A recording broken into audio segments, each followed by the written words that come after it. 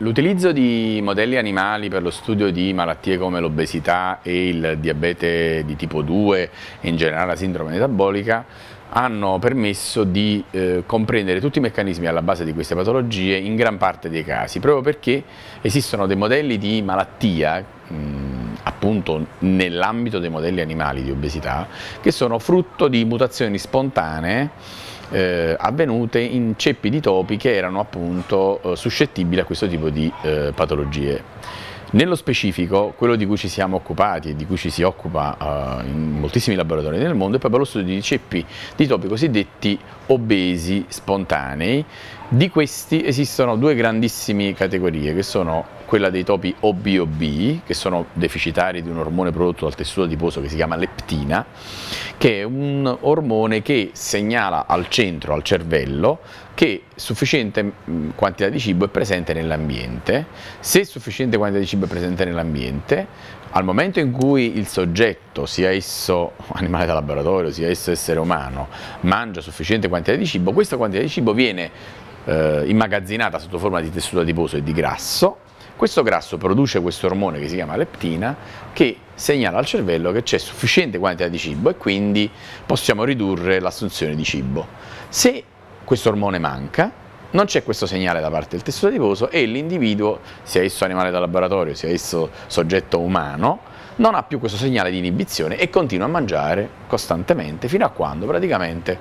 eh, diciamo, fino all'infinito in un certo senso, proprio perché questi soggetti non hanno più questi segnali inibitori. Ora, immaginerete che lo studio di modelli murini, eh, nello specifico quindi di topo,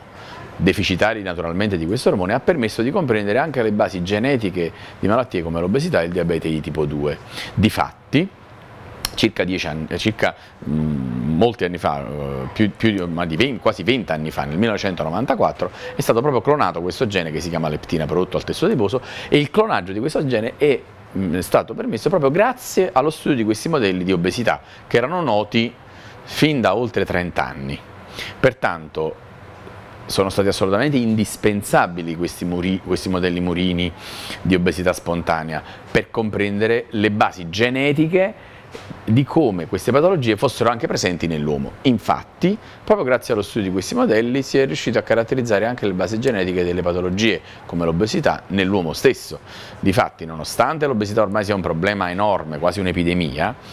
gran parte delle basi genetiche di, questa, di queste patologie nasce proprio dallo studio di questi modelli murini.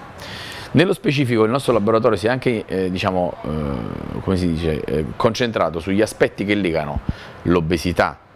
questi modelli Morini e l'infiammazione e quindi tutte le patologie infiammatorie croniche che scaturiscono proprio da questa alterazione del controllo dell'assunzione di cibo. Difatti, più cibo viene assunto, più tessuto adiposo si accumula, più è un segnale verso diciamo eh, l'infiammazione cronica eh, che può poi scaturire e generare malattie quali diabete 2, aterosclerosi, eh, sindrome metabolica, tutte patologie infiammatorie croniche che poi comportano una, diciamo, un grossissimo, eh, hanno un grossissimo impatto sulla salute pubblica nei termini in cui ci sono tutte patologie che possono poi essere eh, diciamo, mal controllate eh, e eh, scaturire tutta una serie di problematiche quali malattie cardiovascolari, diabete e quindi anche l'utilizzo di, di, diciamo, di farmaci e interventi da parte del Sistema Sanitario Nazionale che comportano un'enorme spesa in generale. Detto questo però, un punto fondamentale è che non si sarebbe potuto capire e comprendere le basi patogenetiche di queste malattie nell'uomo senza lo studio di questi modelli murini che sono in un certo senso unici.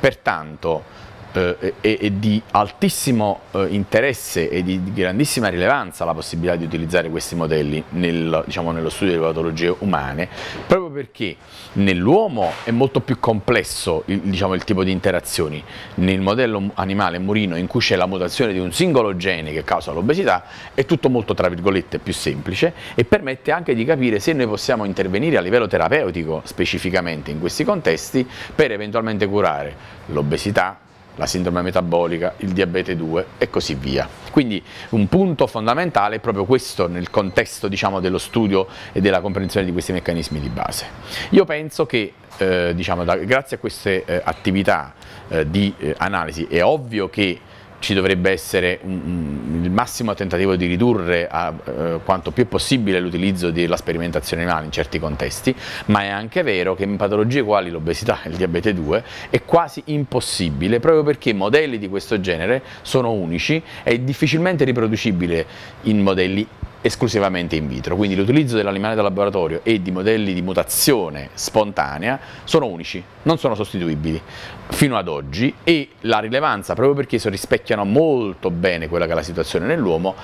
la rilevanza diciamo, di questi modelli è unica, pertanto il loro utilizzo sarebbe difficilmente sostituibile.